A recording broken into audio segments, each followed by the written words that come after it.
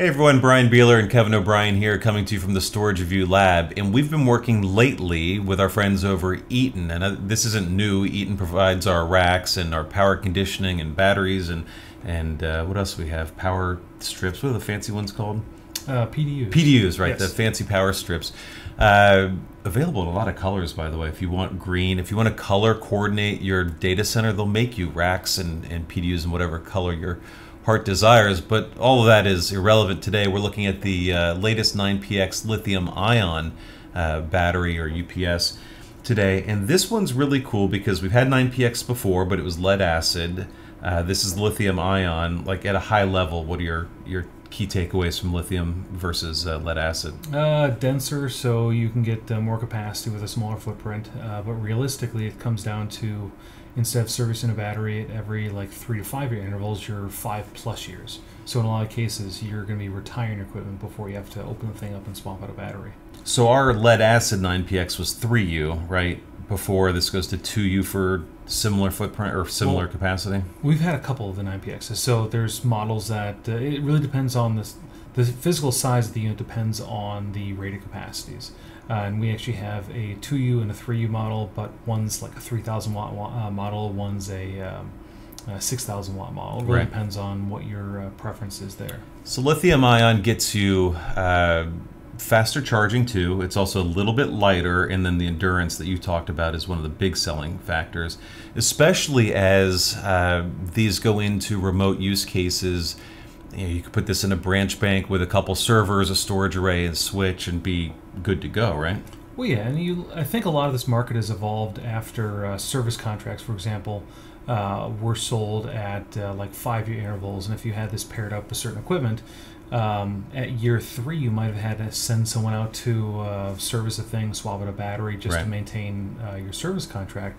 And now you put in one of these models, and the UPS is going to last as long as the service contract and of the rest of the infrastructure, right? Yeah. Yeah, and that's a good point too. So uh, the reduced need for service is there.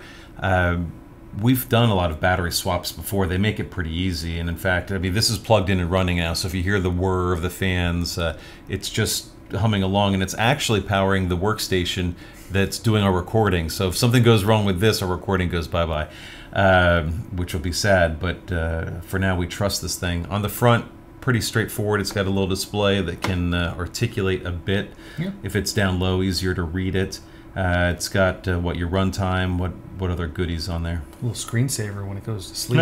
but it's going to show all your basic utilities. So, I mean, you can turn the thing off, you can turn it back on, you can see what the IP address is if you have one of the network cards installed. Um, overall, I mean, it just gives you all that local data you'd want to see if you were on site. and maybe most critically, runtime when there's a failure based on the load active at that moment on the system. Yeah, and during outages, for example, or partial outages or brownouts, you can see what incoming voltage is, or try and diagnose certain problems as you're. And that one's funny because we've had that problem here a couple times where we pulled data off of our Eaton gear and gave it to Duke Energy to say, hey, you know, we had a problem, and they'll start off by saying, there's no problem. Then the tech comes out and we show them, yeah, here you go. Yeah, we have a three-phase environment here, and uh, we've had issues where phases have dropped, or uh, instead of so we're at a 208 uh, three uh, a 208 volt uh, three-phase platform, and we've had situations where our voltage has gone up into the 230 to 240 volt range. That's free voltage. yeah, and our 120 volt side is up the, uh, in the, like the lower 130s, and it Look gets a little bit out of bounds. Lights start to flicker and get bright, but uh, the power gear it just like it transitioned over. You could hear the uh, fans kick up, and it's like, huh, I wonder what happened. And you dive in, and you realize, well, some weird stuff happened.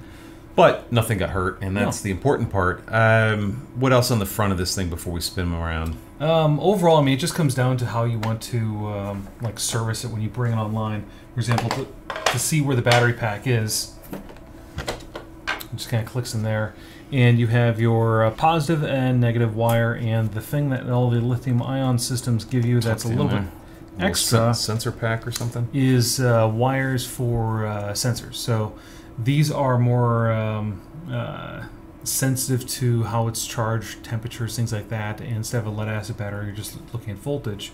You're looking at uh, quite a few additional data points for that. So you're going to see a, a couple of additional wires on these types of models. Okay, let's go ahead and spin this thing around. So go over what we- we've got. Uh, fan. Oh, the card. Okay, so this uh, it's IPM card. What's it called? It's the Network 2 card. Network or 2 card. originally it was the Gigabit Network. All right, whatever it's called. We did a video of Kevin installing this on TikTok. It got over 20,000 views by you uh, power hungry degenerates. So if you're not following our TikTok, you should be because you get to see behind uh, the scenes kind of action like that, which apparently you guys like. If you're really lucky and Vince works some magic, maybe he'll put the little video up in the corner somewhere. But uh, we'll see if he's liking that.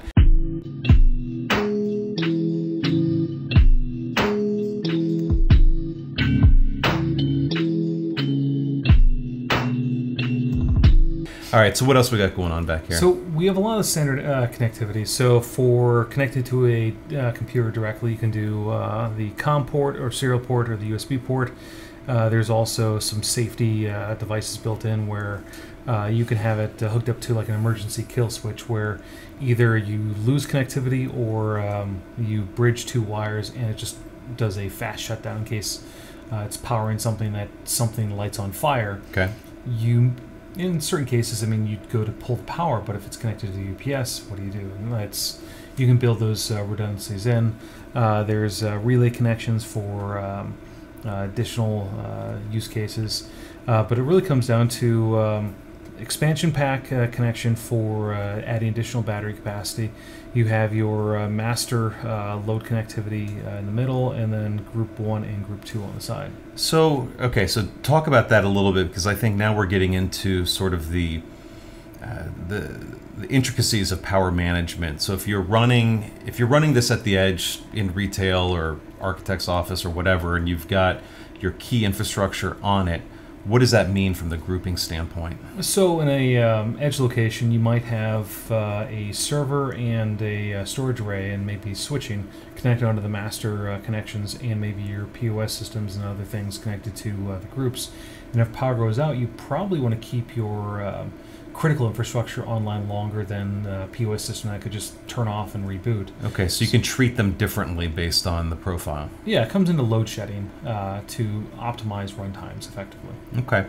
And so the best way to manage some of these things is through software. So we talked about the optional uh, networking card that we've added. Why don't we take a look at that uh, software a little bit and see what that uh, looks like? So, like I said, this is actively running right now the recording rig that we're using for the video.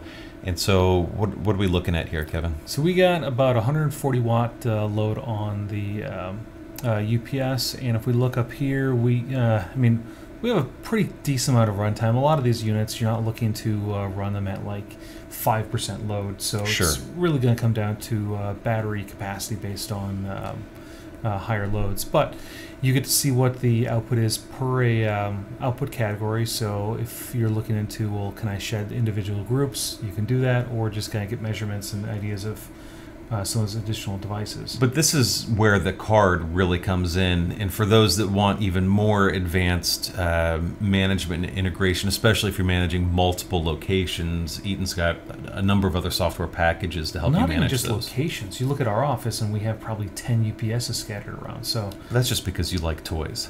yes. Okay. What else stands out here in the in the UI? So uh, you have areas to uh, look at environmental uh, devices. So uh, you could have a uh, temperature and humidity sensor hooked up, or multiples, or dry contact. Uh, this would be something in terms of, um, let's say you have a uh, rack or a door connected to uh, your little data center or a closet. You can track to see was it open, was it turned, was it uh, did something get moved? I mean, like you can start tracking some of those items through um, uh, this type of interface. Okay. Um, controls, uh, you can turn off uh, the unit itself, uh, the individual groups. Um, So that gets back to that uh, group management you were talking about before. If you're in a failure scenario and you want to get rid of some of the power, you could safely shut down a couple systems this way. yeah. Okay. Um, and then you can create uh, scheduled shutdown uh, activities. So power drops, how long do you want to keep things on? Um, and uh, you can also, on the flip side, change it to how uh, the type, how much capacity you want in your battery before it turns back on. So power doesn't come on for like two minutes, then your thing comes online just to be shut down right away. Right. Okay. Um, and then agents would be uh, devices that are connected into it for um, other third-party applications or IPM, for example. So go back to the main screen then. What would it look like if we were in a failure scenario? Well, we can just pull the uh, power.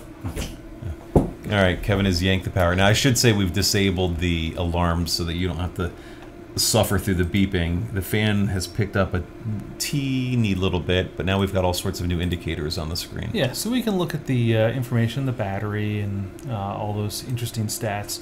But you really get see the uh, the profile of how the data, or not the data, how the uh, power is moving through uh, this platform. Right now, it's going from the battery through the inverter uh, to the output, and we get a nice 120 volts out of it. And let's see, what is our runtime? Um, can you see up in that corner? My eyes are, are not so good, but I, it was something like 90 minutes before. Yeah. And, you know, to be fair, we're running just that single system on it. And I know it seems kind of dumb, but we're using the system recording the video, unplug it from the wall, and nothing happens. Like, oh yeah, and that's exactly. I know that's the point, but yeah. it's it's kind of boring yet exciting at the same time to not have any flicker or blips or any you know untoward behavior. Yeah, and overall, I mean, you get a lot of cool features when you go to an enterprise NAS. Uh, a lot of the safety features. NAS. The, or, you get a lot of cool features when you move to a uh, enterprise uh, power conditioning platform. Right. So on a consumer uh, system, you might not have the network connectivity or access into that monitoring. But then again, you might you probably don't care about the level of monitoring if you just have like a little floor unit powering a NAS or mm-hmm. a, a home router. But when it, when you're in a business environment, maybe you're monitoring temperatures in your lab, or uh, even access in the lab, or you're trying to have uh, safe shutdown for more complex storage uh, platforms. So there's there's a lot of things. Oh, there's a there's a ton of reasons. I mean, if you're a home lab or even having something like this is really nice. Um, Cost might be a little bit outside. Okay, so that's the thing, right? So lithium ion units are more expensive than that lead acid. This guy runs like 3870 uh, is MSRP. I'm not sure how much they're they're discounting that. Maybe if you mention Kevin, they'll give you 20% off at checkout. I don't know if I have that much pull. I could probably include a free uh, ZenFrog. Yeah, we can get you Zen Frogs. That's no problem. Um, the uh, the NIC is a couple hundred bucks, but it adds a lot of value for what it costs. So that one's a pretty reasonable upgrade. Wait, anyway, if you, but if you're running this at home and you're and you're doing a home lab, the concept, anyways, is right. Oh yeah, and you could just buy the lead acid version of this if you're a home labber and have all the exact features minus the batter, uh, battery chemistry.